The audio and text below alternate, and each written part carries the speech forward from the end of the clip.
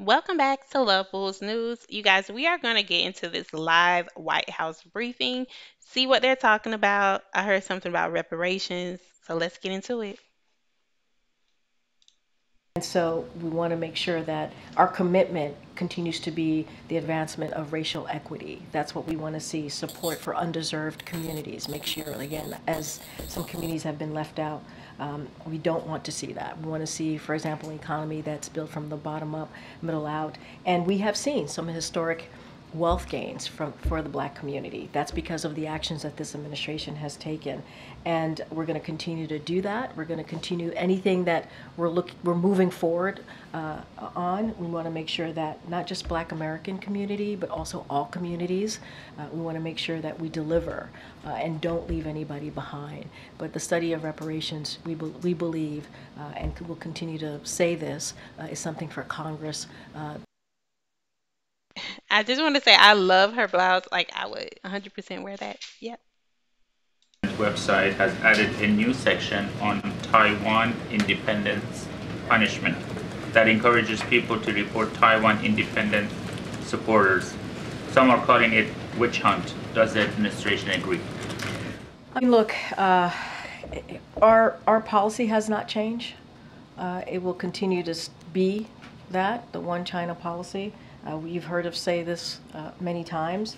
Uh, I can't speak to this new development uh, that you're that you just laid out, uh, but our policy has not changed. We will continue to be consistent from here. Okay, Great. Thank yeah. you. The new Title IX went into effect last week, last Thursday. As you know, it's faced lots of lawsuits. Many governors say they're not going to even follow it. So there's that angle of it.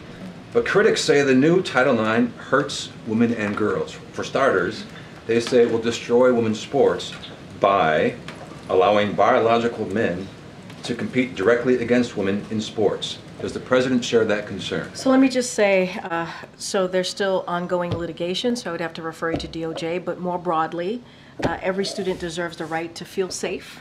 Every student deserves the right to feel safe in schools.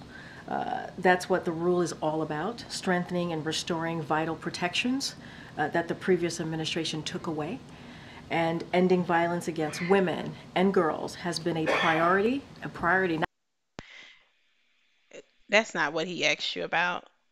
And when you're speaking about violence against women's and women and girls, he's talking about you allowing men that describe themselves as transgender women to beat on and basically outdo women in sports in their sports area. Like they don't have the chromosomes of men. You know what he's asking you.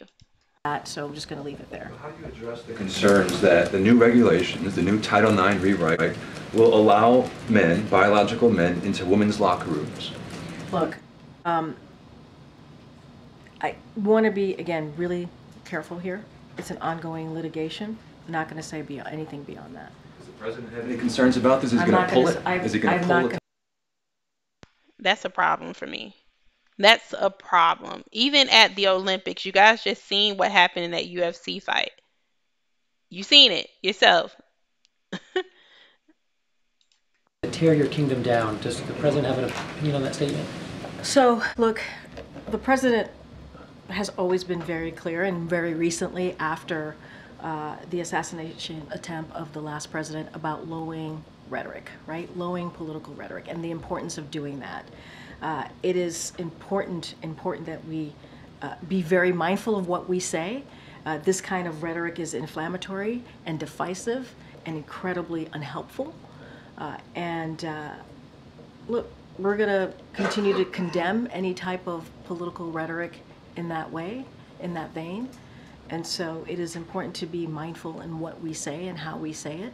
Uh, but uh, we cannot. Did she literally just repeat herself? Discourse. Not now, not ever. And quickly on the VP decision, you said a couple of times that he spoke to the vice president about her decision. I don't expect you to say what he counseled on, but did he give her I advice? appreciate that, thank you. But did he give her, did he say who he thought she ought to name as her vice president? So what I can say is, and he said this himself, that he had talked to her, uh, I think like over a week ago when he was asked uh, about this particular uh, uh, VP decision. Uh, The vice president sought the president's advice, and, uh, and, you know, she certainly uh, welcomed the vice president. This is my problem today with voting for Kamala. You sought the advice from someone who we all have seen is not cogni- cognitively stable in making decisions for himself, nevertheless, a whole entire country. But you asked him, she may have been talking about Barack. I, th- I think that's what happened. She's talking about Barack. I got, I know I gotta wrap up. Uh, Go ahead, John. Thanks a lot, Karine. Can you just uh, clarify an answer that you gave a little bit earlier? Yeah. It involves that revocation of that plea deal for the 9/11 defendants, including Khalid Sheikh Mohammed. Did the Secretary of Defense give a heads up to the President, the Commander-in-Chief? This is Commander a in Chief? decision that he made, that he made on his own. I understand. Can I just I think that answers question? the question. Well, it doesn't, because I want to know if. For if- you, if- maybe, but go ahead. Okay. I just simply wanted to know whether the Secretary of Defense gave a heads up to the Commander in Chief about his decision. This decision. decision was made by the secretary. This was his decision to make. This is his decision to make. It was his, this was his decision to make. This is not something that we are involved in. The president, what I can say is the president has the full confidence of the secretary. It was his decision to make. I'm not doubting whether he has confidence or not in the Secretary of Defense, just simply wanted to know, but I'll move on. Wanted to ask you um, another question that just was out there on social media, and maybe you can reply to it. The former president has made this suggestion that the current president may still want to be the Democratic presidential nominee. Put that out on social media. Does the president, I see your reaction, and that's why I want to ask you this. Does the president in any way lament his decision to drop out of the race? The president is proud of his decision. He's proud of his decision. Again, we had nothing to do with the 9/11 plea deal uh, reversal. We had nothing to do with it. This was something for the secretary to make, and he made it. Yeah, this guy, he's pushing it. She answered it from the beginning. She showed you you wouldn't get anything more, and he kept going. Of his decision. He's proud of his decision. Again, we had nothing to do with the 9/11 plea deal uh, reversal. We had nothing to do with it. This was something for the secretary to make, and he made it. The president has full confidence in the secretary. Thank you, everybody. See you tomorrow.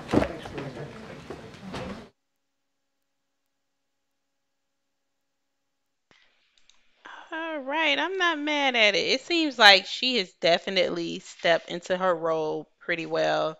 She's adjusted well from the beginning when she, that first year was very rocky for her. But it seems like she's adjusted. She's definitely got control of the situation in that room. Um, I've seen when they first started, she was getting disrespected. She was getting called out in regards to being incompetent, not being able to properly answer the questions, not understanding the questions.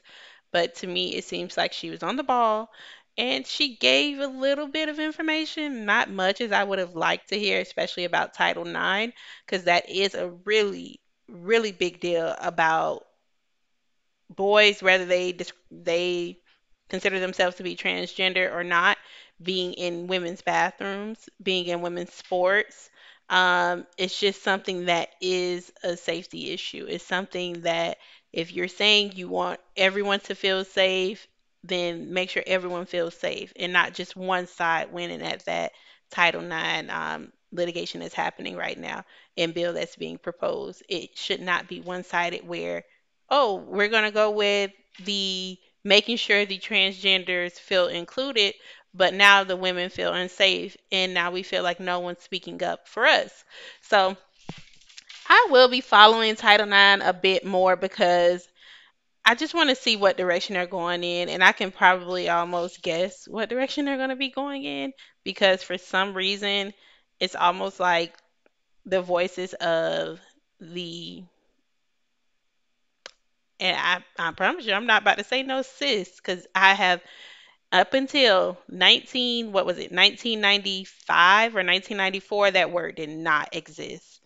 Natural born men and women is what I understand. And if you guys are not in the business of making sure natural born women are safe, along with making sure transgender women or boys are safe, I don't know what to tell you. It's almost like we're going to have to create a third bathroom option because, or a, a sports lane for transgenders because you can't group them into a group of women or attach them into a group of women as if they are women when biologically they don't have the makeup of women. Regardless of how many estrogen pills are taken, regardless of what surgery changes are made, they are biological. Now, are we going to erase the word biological and all of the research and different things that have been put into place with establishing what biological means? So that's that's another conversation because it, it goes deeper.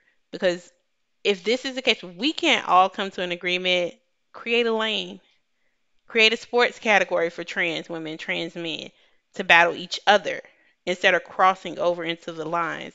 So that's not neither here nor there, and I do not hate or dislike any group of people. It's more so about making sure things are fair on all ends, not one end. Thanks for watching. Come back again.